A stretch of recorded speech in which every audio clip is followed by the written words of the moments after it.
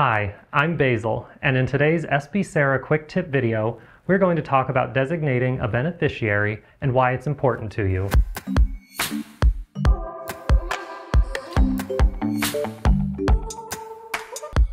We know you work hard to take care of your loved ones, and we want to make sure that you can provide for them in the event of your death. That's why it's important to designate a beneficiary who will receive your benefits, ranging from a single lump sum to a monthly allowance.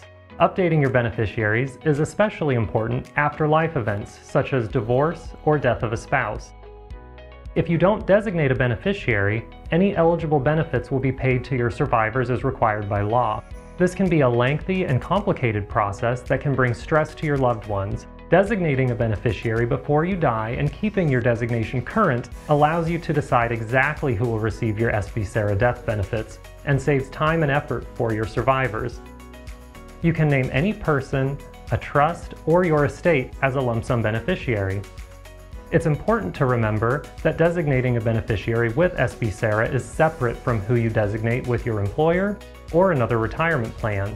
Make sure all your beneficiary designations are up to date and correct. You can easily check your SB beneficiary information in your online member portal, MySBCERA. If you need to make changes, you can complete and send back the beneficiary designation form available at sbcera.org forward slash forms. Learn more by visiting sbcera.org forward slash beneficiaries. Thanks for watching.